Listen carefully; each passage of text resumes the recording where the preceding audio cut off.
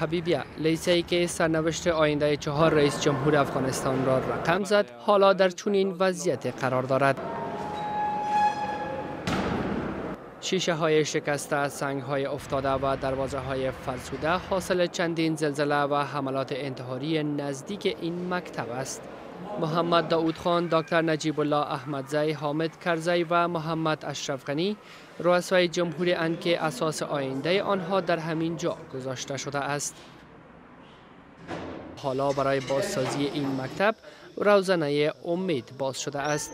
هند که 113 سال قبل تهداب گذار این مکتب بود حالا دوباره دست به کار شده تا لیسه حبیبیه را به یک محل نسبتا معیاری برای آموزش مبدل سازد. منپریت وهرا سفیر هند در افغانستان.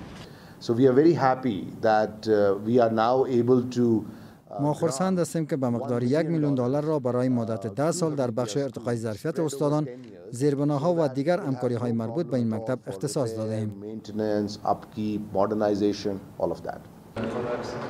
حالا سید شاه لالا بکاولی مدیر این لیسه هم امیدوار است که پس از این همکاری های هند تغییر در سیستم درسی و ساختمان این مکتب رونما گردد.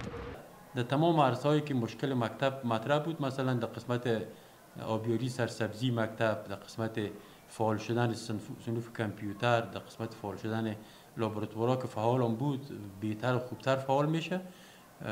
مشکل مکتب از این نگاه با کلی رفع میشه.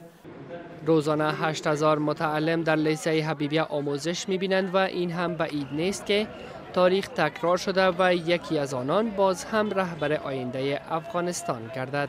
الیاس سالی رادیو آزادی کابل.